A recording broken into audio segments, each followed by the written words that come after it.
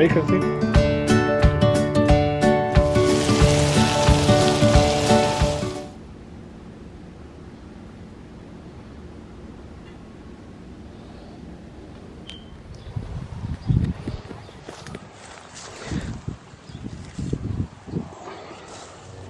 Mango जी, mango tree के पास बैठे हैं तो मैंगो मिल गया।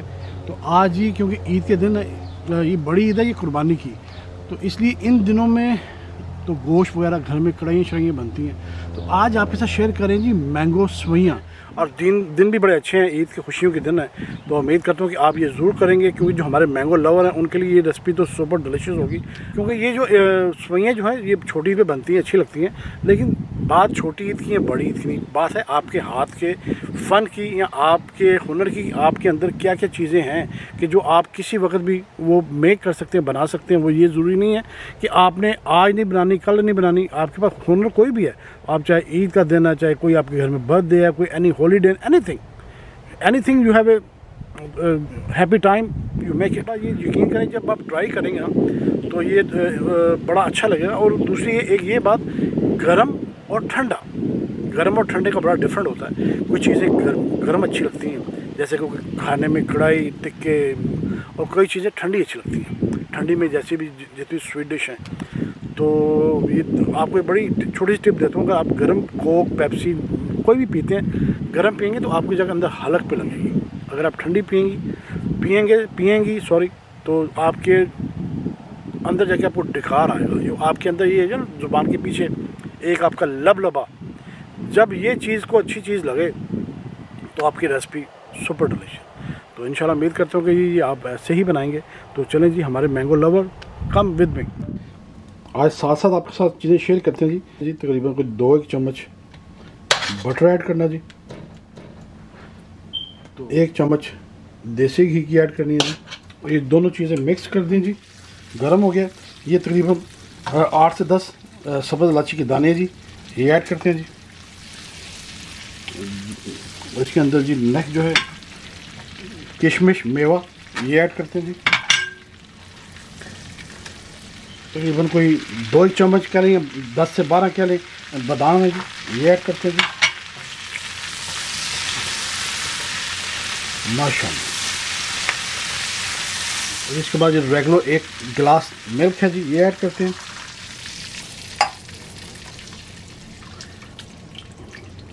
माशाल्लाह। अभी उसके बाद ये न्यूडल है जी, सवैयाँ, मैं सारी नहीं मैं आधी यूज़ करूँगा जी।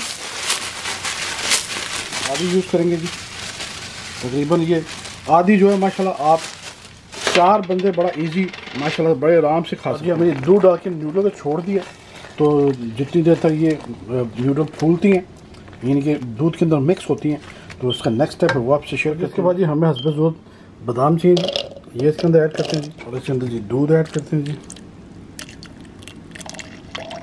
ये भी तक आधा कप दूध ऐड करते हैं और जी माशाल्लाह जी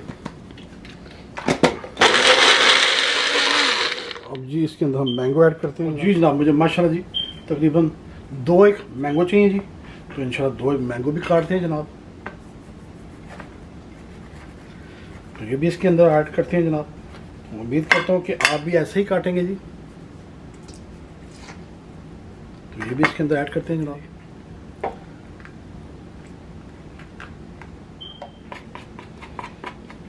माशाल्लाह आम काट के अब इसकी पेस्ट बना के जी आपको दिखाते हैं जनाब।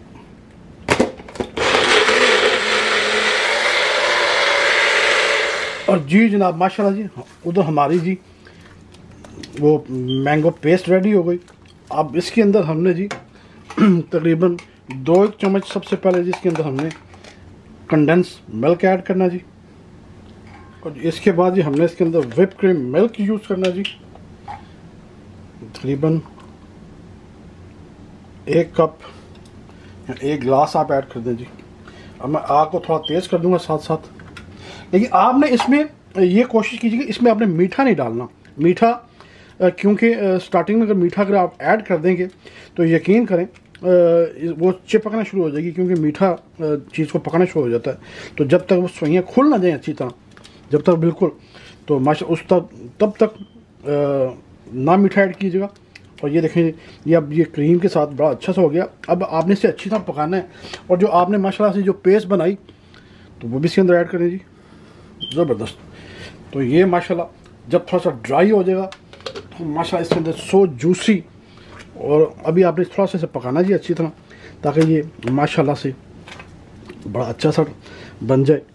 तो इन ये थोड़ा सा इसका पानी के अंदर सॉरी इसके दूध के अंदर इसके जो भी थोड़ा बहुत पानी है वो थोड़ा ड्राई होता है तो फिर जब पास पास आता है तो आपको इंशाल्लाह दिखाते हैं और इसके अंदर क्या चीज़ ऐड करनी है वो आपसे शेयर जी माशाल्लाह जी अब आपने ये हर चीज़ जब डाल देनी है तो डालने के बाद देखें माशाल्लाह जी अब बहुत पटाखे मारना शुरू हो जाएगी लेकिन अब आपने इसको अच्छी तरह से मैश करते रहना मिक्स करते रहना हिलाते रहना ताकि नीचे से बिल्कुल ना लगे।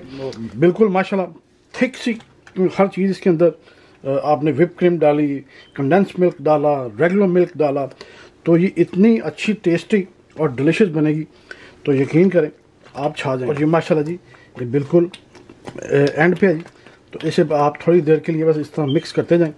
तो मिक्स करके बाद थोड़ा सा और ड्राई होता है हल्का सा तो फिर इसके अंदर हम शुगर ऐड कर जी जनाब। बिल्कुल अच्छी थिक हो गई है जी। लेकिन क्योंकि हमने इसके अंदर मीठा है लेकिन फिर भी मैं ये तकरीबन पाँच एक चम्मच शुगर ऐड कर रहा हूँ जी। साथ साथ में आपने और मैंने शुगर डाल दी। तो इसी तरह ऐसे अच्छी तरह मिक्स करें ताकि ये शुगर जो है, हर जगह पे अपनी जगह ले ले। कहीं पे कम नहीं, कहीं पे ज़्यादा नहीं। तो इन बिल्कुल रेडी है। और ये शुगर इन इन मेरा ख्याल है पूरी होगी। लेकिन फिर भी आप लोग चेक कर सकते हैं।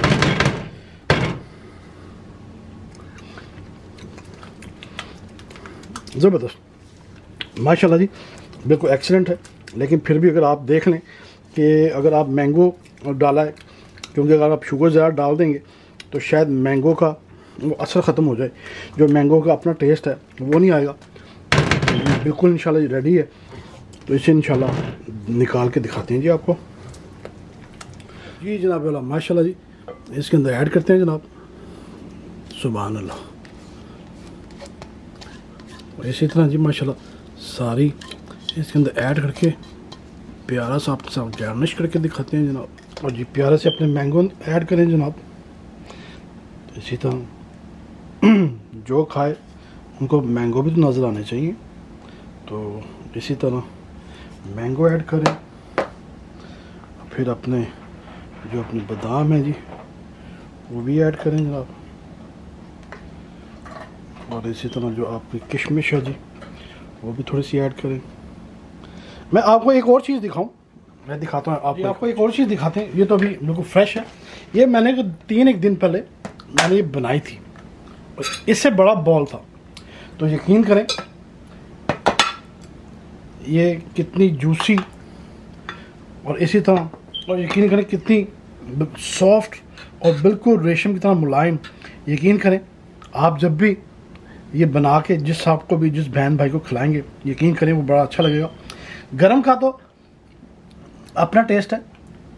ये तो अभी बनाइए, आपके सामने इसका कलर है। लेकिन कुछ ठंडे होने के बाद इसका कलर चेंज हो जाएगा। और यकीन करें, मैंने जब बनाई तो मुझे बड़े, मेरे फैमिली मेंबर आए तो उन्होंने कहा, यार कैसे बनाई? मैंने कहा, मैंने बनाई नहीं हुई थी। यकीन करें, कसम खुदा की, मैंने बनाई नहीं हुई थी। मैंने कहा, मैंने यूट्यूब पर देख लेना। तो यकीन करें, फिर उसके बाद मैंने आज बनाई। तो इन उम्मीद करता हूँ कि खुशियों के दिन है। तो आप भी अपने साथ, बिल्कुल टाइम ऐसे स्पेंड करेंगे। और जी इन उम्मीद करता हूँ कि जी आप बिल्कुल ये रेसिपी बनाएँगे। और हमारे जो मैंगो लवर हैं, उनके लिए तो ये ज़बरदस्त सुपर डिलीशियस होगी। तो यकीन करें कि खुशियों के दिन है। ये ना कभी सोचें कि भी कोई आपसे नाराज़ हैं या आप किसी से नाराज़ हैं। तो ये खुशियों के दिन ही होते हैं कि जो ये दिन एक दूसरे को मिलाने के लिए। आप बड़े हैं या छोटे हैं, ये ना सोचें कि वो मुझसे बड़ा है या मुझसे छोटा है, मैंने नहीं उसको बुलाना वो मुझे बुलाए।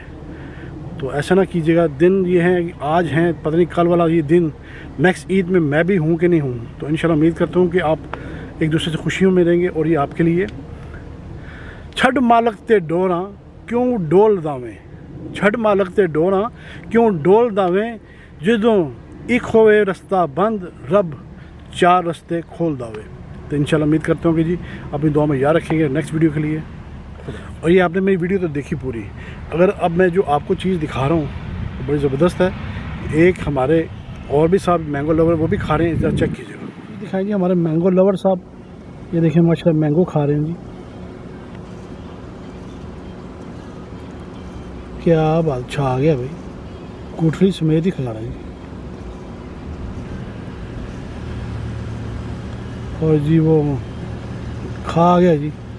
और उम्मीद करता हूँ जी कि आपने भी अब ऐसे ही खाना है।